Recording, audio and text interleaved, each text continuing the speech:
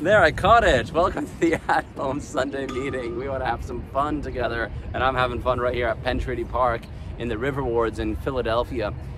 Right behind me, you see the Delaware River. We love the Delaware River in, in, in Circle of Hope because we, are, we, we initially were a Philadelphia uh, region-based church, but then we expanded to South Jersey too, and we realized, you know, there can't be a river that gets between us. We still can love one another and connect with one another despite whatever barriers are between us. You know, man-made barriers, human-made barriers, they're not gonna limit us from connecting with one another. And just now we're breaking through another barrier right here through the screen. We're connecting with you from wherever you are as well. So just as the river doesn't keep us from one another, neither does any other barrier. And we can still connect with one another and love one another and worship together and to have fun together. I hope tonight is, a, is, an, is an evening for you that helps you have fun with one another, with God, through worship, through prayer, through connection. A lot of ways you can do that tonight and our team will guide you through that but for now, why don't you tell us what watershed you're coming from? I'm in the Delaware River watershed. You might know what watershed you're from. And if not, just tell us where you're coming from. We want to know how to connect with you. We want to know that you're here, that you're present with us, because you're helping to make this meeting happen from wherever you are. That's the idea. So this is a this is a live and and connective experience, and you commenting in the chat throughout the meeting is a good way to do that. And also, because we want to connect via our relationships, Go to circleofhope.church slash online meeting and sign in. Let us know that you are here. Knowing that you are here helps us relate to you and connect to you as well. And if you're up for it, the second half of this meeting, we have an after hang on Zoom. You can stay on for that. We'll provide you with the link. And then we'll have some talkback, dialogue, and relationship building time live on Zoom as well. So there's a lot of ways for you to connect with us, just like this river shows us how we're connected with one another. Um, the, the creation around me, full of joy, full of the Spirit of God. That's what's connecting us to one another. Our, live, our lived experience, our shared humanity, and our common experience in this world, in this as, as creatures in the world, in the creation together, that helps us connect with one another. So I hope that this imagery around me uh, motivates you to know that we're intimately connected, even through a screen. And the people that are gonna help you stay connected to the meeting, we call them our hosts. I'm gonna pass the ball to them right now, and they'll be able to tell you who you, they are and so you can identify them and so you can relate to them too. So welcome again to the At Home Sunday meeting. I'm so glad you're here. Be sure to sign in if you haven't. We definitely want to connect with you. Here are our hosts. Hey, I'm Robert. I use he, him pronouns. I'm part of Circle of Hope from way up here in Minnesota, and I'll be one of your hosts for the At Home Sunday meeting. Hi, I'm Damian Washington, he, him pronouns, and I'm coming to you from Northeast Philly, and I'm one of their hosts for an online meeting at Circle Hope.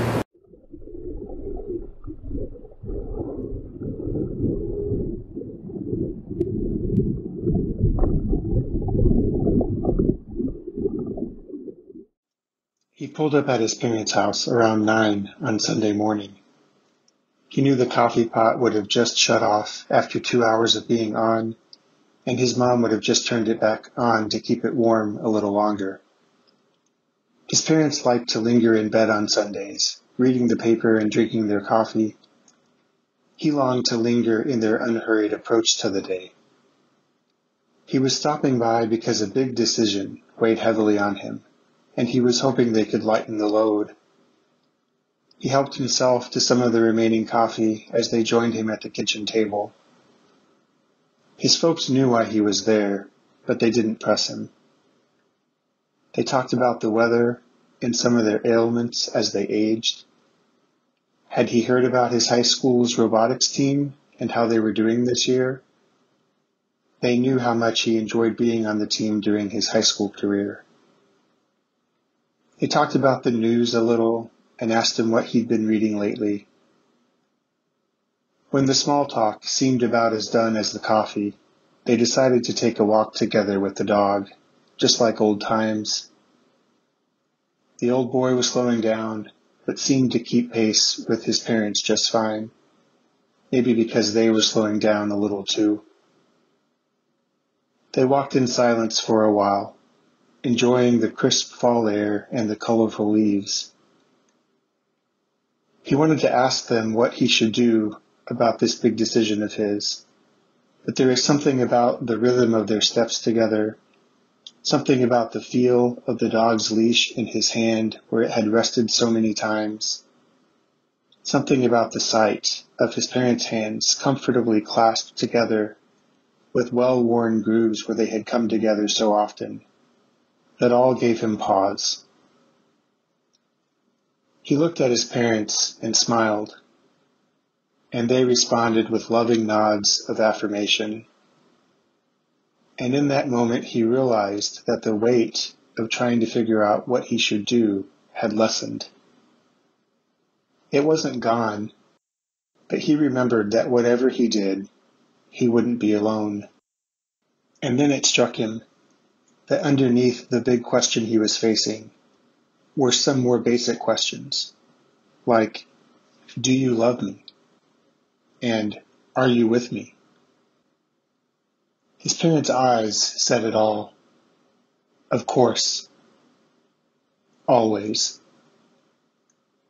They rounded the bend toward home, and his parents asked if he could stay for lunch. Of course, he said. Always. Hey friends, Johnny again, he, him. I want us to enter into a time of worship together. Worship is about adoring God and adoring Jesus, and it works really well when we can do it together. And don't forget, we are together tonight. We are doing something together.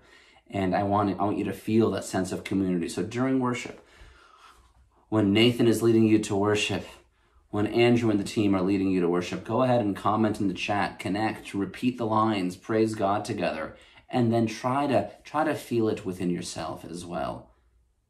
Enter into this time in your body, in your spirit, and try to experience it. Sing along if you're able to.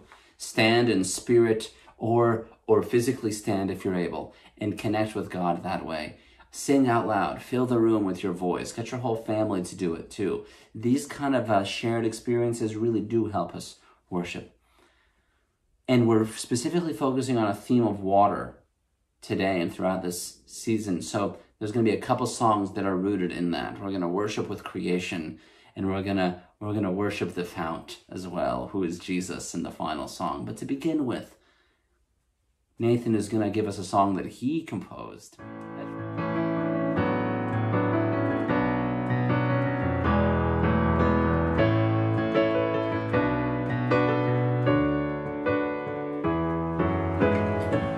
Greets the same friends every Wednesday. Plays the same word games, they don't suspect a thing. She can't show the bullet holes in her soul, afraid what they might say. He walks the stage barely awake. Didn't get much sleep last night. He won't say why. Doesn't believe a single word he speaks, but they applaud. And he preaches on. When you're stuck in a prison, dead ended by your good intentions, you got in deep and you need a key. I heard one that could set you free honesty, a little bit of authenticity, saying words you really mean. Try a little bit of honesty when you know that something's wrong. Spirit's gone, but the show goes on. You play a little puppet made out of pride when you've lost God, but keep the facade with questions you can't ask. Cause you don't know where they lead, so you shroud it all in secrecy and bleed into your diary and bury all the evidence. Afraid it won't make any sense. I've been there, my friend. And if you want some peace, you gotta try a little honesty to say what's really going on with me. You think you always need certainty, but have you tried a little honesty? You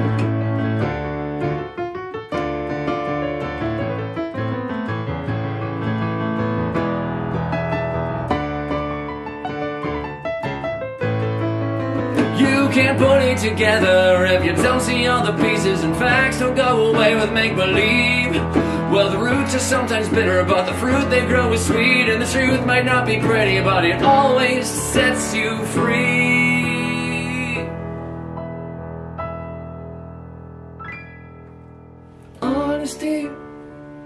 Takes a little bravery. You never know where the road could lead, but we all need a little honesty. Honesty, just say what you're thinking. Sometimes I wonder what the world could be if we all tried a little honesty. Honesty, to say what's really going on with me when you're stuck and you need a key.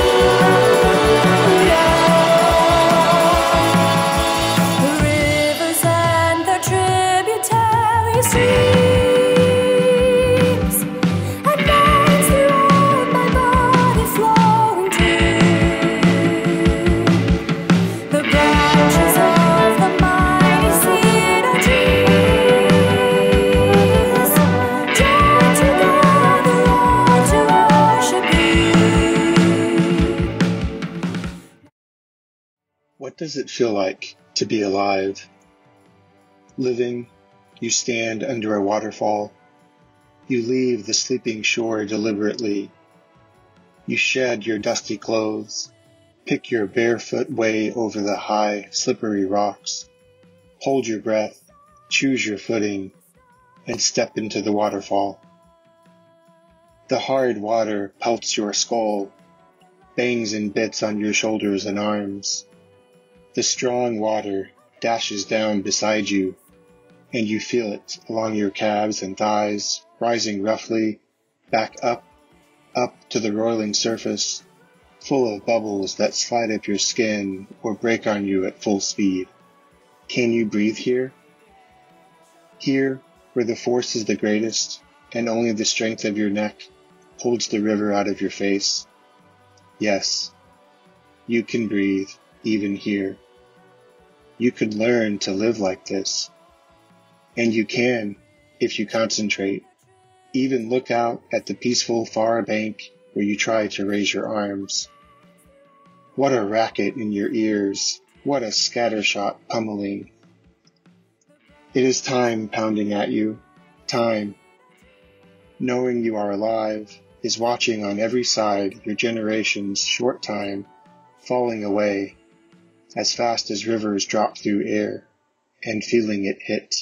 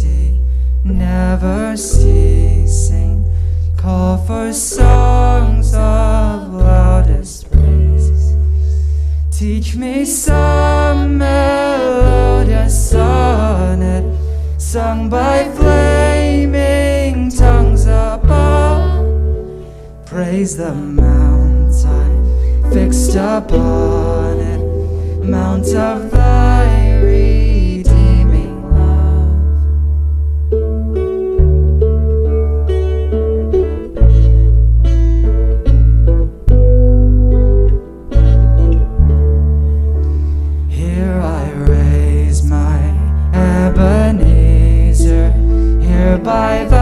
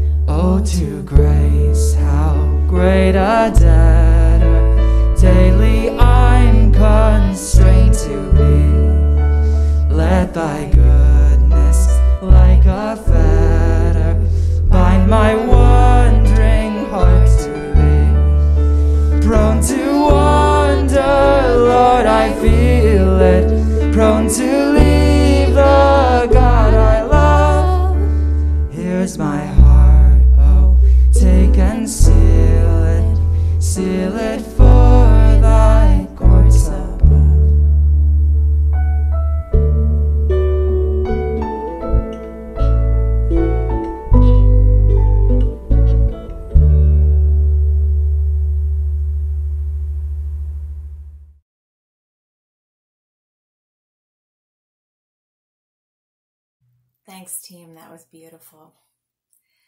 I was really feeling the words of that. Prone to wander, Lord. I feel it. I was feeling that this week. Um, and my cell, we were talking about all the, the forces and influences that can take us in different directions. Um, someone was asking, how can how can people who are say they're following Jesus be going in opposite directions?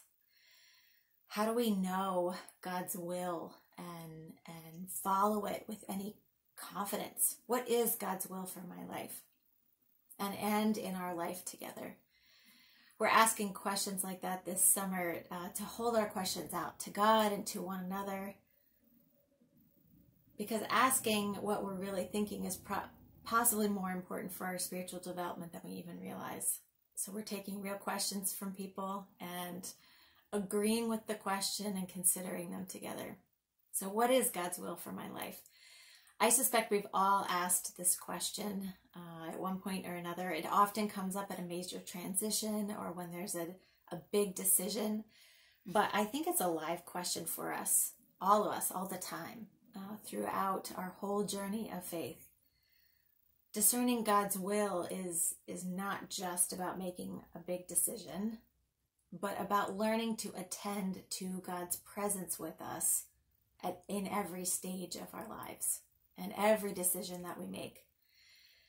We are all interested in finding our place and making meaningful contributions in the world, uh, significant relationships, our work, other things contribute to our, our sense of well being and belonging. So, in seeking God's will for our lives, it makes sense that we want to choose the right thing and decide the right way. Jesus offers us two very clear um, commandments that address God's will for our lives, for how we are to live. In Matthew 22 37 through 40, Jesus says, You must love the Lord your God with all your heart, with all your being, with all your mind. This is the first and greatest commandment.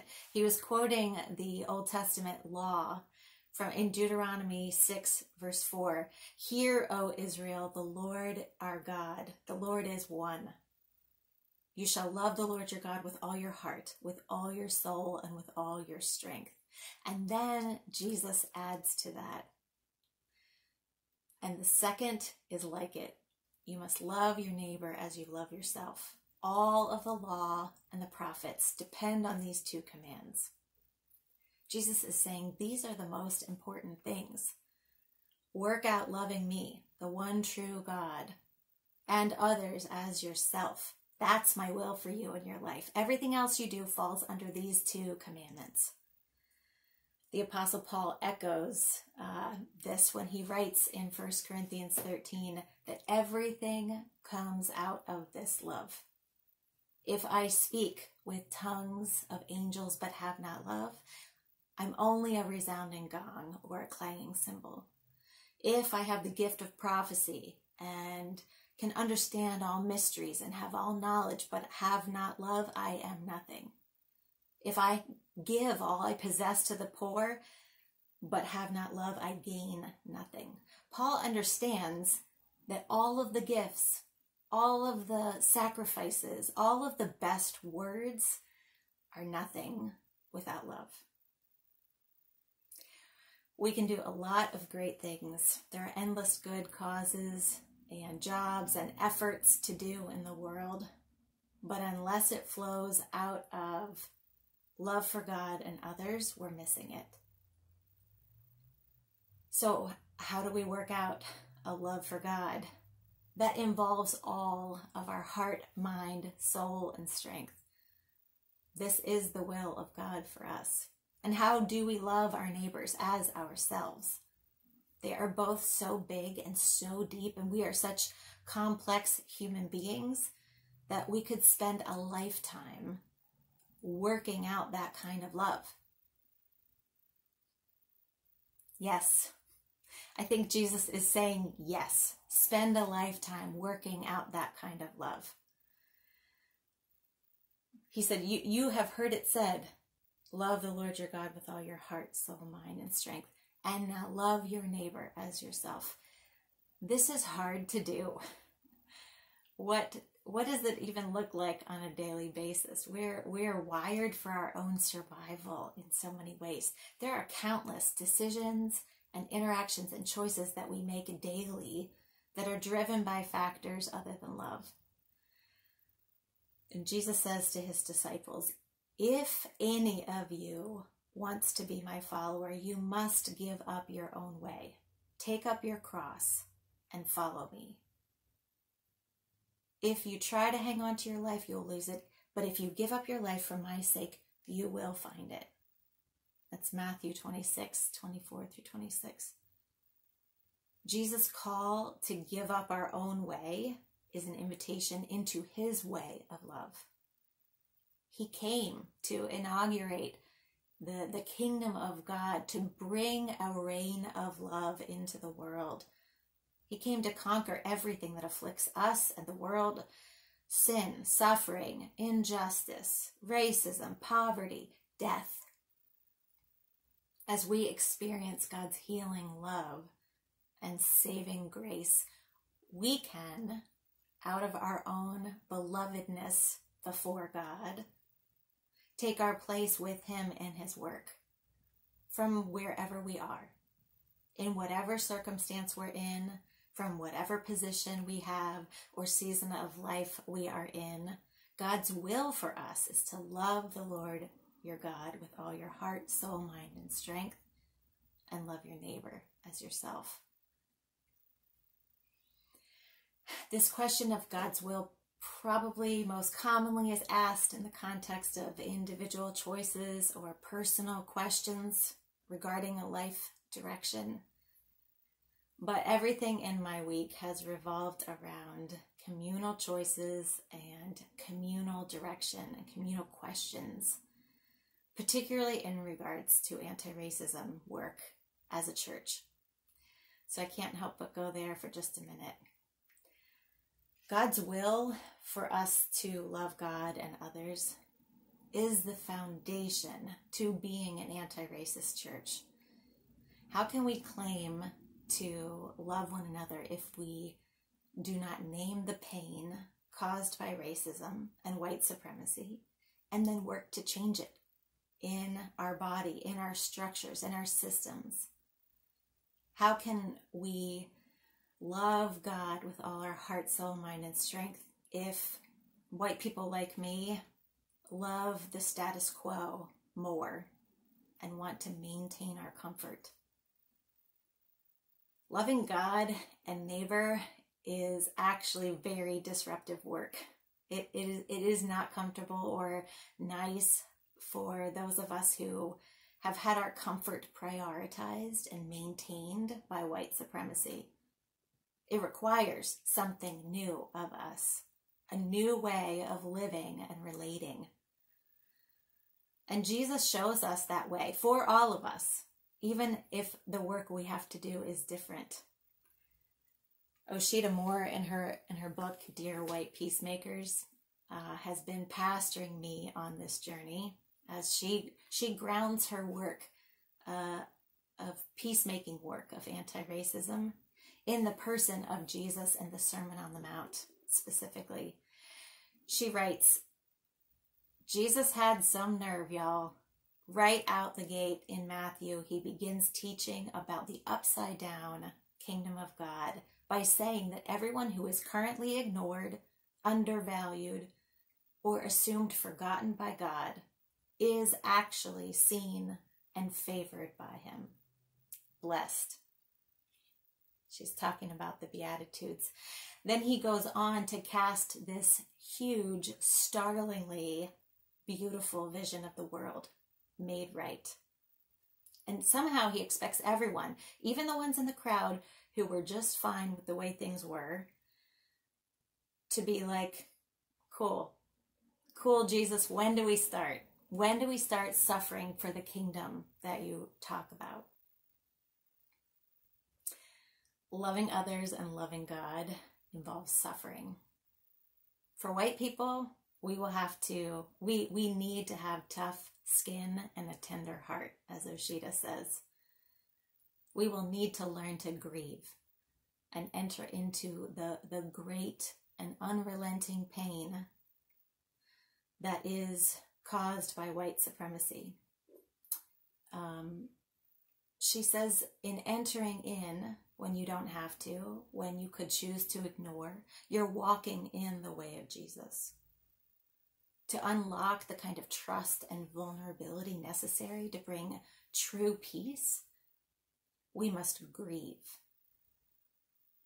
And as we wade into dismantling white supremacy, and white people start to feel like some of the very core things, some very core things are in danger, the invitation is to draw nearer to Jesus. His teachings about meekness and purity of heart and mercy will help those of us who are having a hard time. Osheta invites white peacemakers to allow the love of God to ground us in our belovedness and allow that love to inform how we receive guidance from people of color in our lives. She says that is what living in covenant with one another is all about. Authentically correcting and courageously connecting with one another. You can't have love without that. I love that she's talking about covenant because living in covenant with each other is is as a church is at the heart of us. The center of our gravity as a community is a covenant of love. Jesus told his followers, Love one another as I have loved you. Our covenant is about living into that love with each other in this particular time, in our era, in our context, acting as a body, being connected as a visible um, members of, of the church.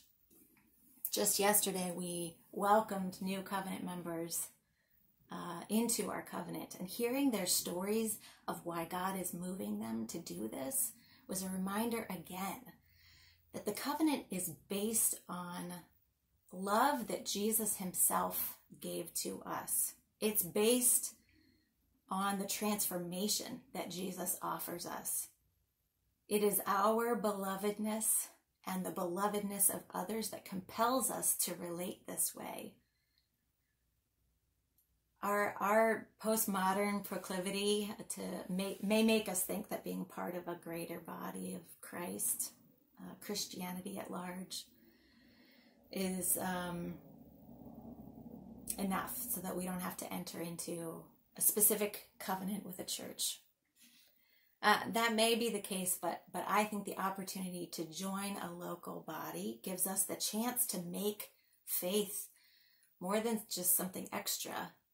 Um, it's it's transformative to how we live because there are people who we're committed to living out God's will in our lives and working it out daily together. The commandment to love the Lord your God with all your heart, soul, mind, and strength, and love your neighbor as yourself is day to day work. And the explicit context of a local community helps us to practice it. I want us to talk more about this. Um, so I hope that you'll stay for the afterhang. The hosts are going to put that link in the chat for you so you can hop over and we can meet face to face and keep talking about what does this look like through specifically through anti-racism work but in in all aspects of our lives um, but before we do that johnny's going to tell us other other ways that our body is connected and then offer a blessing Hey, friends, I'm so glad you worshiped with us tonight. It was a blessing to be with you. I want you to help expand this meeting to make it fully what it can be. One way you can do that again is just to go to circleofhope.church slash online meeting and sign in again. We want to connect with you. We want to relate to you because relationships are the heart of who we are. And while you're online, what you can do is go to circleofhope.church slash cells and you'll find a cell to get connected to. Just like relationships are the center of this meeting, they're the center of our cells.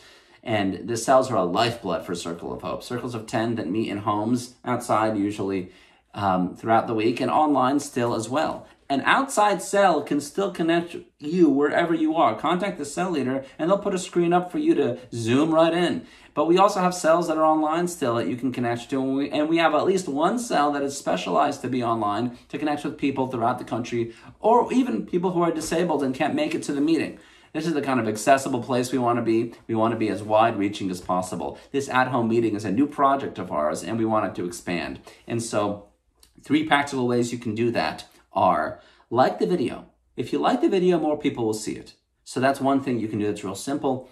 And if you subscribe to the channel, you'll get a lot of benefits from that. You'll see all of our content and including our audio art music, our podcast, Resist and Restore. You can watch it on YouTube or wherever you listen to podcasts, you can go find Resist and Restore. Please like, subscribe, and give us a high rating there as well. That's another way to connect with our pastors and our community as well. That's something that subscribing to this channel will give you access to. And once we get up to a thousand subscriptions, we even connect with more people, but also have more features that YouTube gives us. So help us get to our goal of 1,000 subscriptions on this channel. That would be a real blessing to us. And then also share the video. Think about people in your life, around the country even, who would be blessed by what we're sharing and then share the video with them. Even if they live in the area, give them a low commitment way to connect Circle of Hope, and then maybe they can even attend one of our uh, meetings that are happening in person right now, or they can stay online and do that because we're trying to create a community online as well. So, like the video, subscribe, and share it. And then finally, please share in common with us share your money with us. Go to circleofhope.church and there's an opportunity for you to do that. No amount is too little or too great. Five bucks, five thousand bucks. We'll take anything because we want we, we want everyone to have a chance to participate in what we're doing. And we also see not only the practicalities of sharing in common, but the fact that sharing in common is an act of worship and an act of love. You are loving one another and also showing the Lord that He is Lord over our over our money, over our bank account, over our wallets. And uh, Jesus being Lord of all of us means even even Lord of our money. And that act of worship, that act of trust, that act of faith, that changes us. No longer do we have to hold our money so tightly. We can actually share it in common, and that's a that's a that's a that's a real Jesus way of doing things. And I hope that you can participate in our common fund for that reason as well. Before we go, I want us to conclude thinking of what Julie was saying. What is the will of God for our life? It's a big question. And she answered it beautifully. I'll share one more passage from Galatians. The only thing that matters is faith expressing itself through love, faith working itself out through love. Paul reduces all of the commands to this simple one, just like Jesus did when Jesus said, Love God, love others, love one another. That's the greatest commandment. And so I pray that we can share our mutual love with one another and that this this simple idea can be contained in this expression of the of the church the sunday meeting in cells and in circle of hope. I hope that the love that is flourishing inside of you because of how you relate to god can be shared with others via our church. I pray that you can connect with us further and that this is a blessing to you throughout your week. So go in peace and remember the only thing that counts is faith expressing itself through love